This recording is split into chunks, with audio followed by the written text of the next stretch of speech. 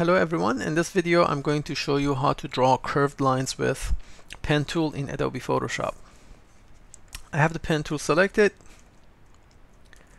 uh, then we're going to head to the options bar and make sure shape is selected. Also we have none for fill, black for stroke, and one point for the um, thickness. Um, if you've seen my previous video about drawing straight lines, with the pen tool you can just click, click, click, and you will draw straight lines. But in order to draw curved lines, you need to click and drag. So I'm just going to click and drag. I'm not going to let this go. And then I'm holding on shift button. That makes it straight. Actually, it can go for 45 degrees.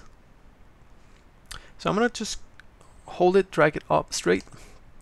I'm still holding on shift. I'm going to do my second point. I'm going to click and drag down.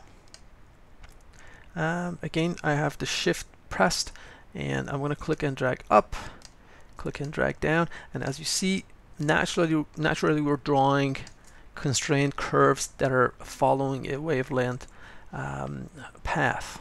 So that's how it naturally occurs. I'm going to delete this. But what if we want to draw curves that are only on one direction. For instance, they're all upward. If you want to do so, let's click and drag up. My second point, I'm going to click and drag down. I'm, I am holding shift now. I'm going to press alt or option as well and drag this handle up. And now I'm going to do my third anchor point, click and drag down. Again, I'm going to press alt or option and bring this one up and I'm going to continue this process. So with holding the button Alt or Option on Mac, you're actually taking control of the second handle, which is determining the direction of the curve, the upcoming curve. And when we bring it up, we're asking the pen tool to draw upward. Um, I'm going to do the opposite. I'm going to draw downward. Because I want to do downward, I'm going to click and drag down first.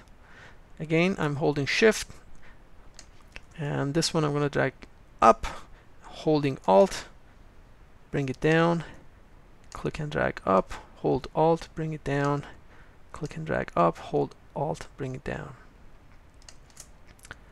And that's pretty much it. I hope you enjoyed the video. Thank you for watching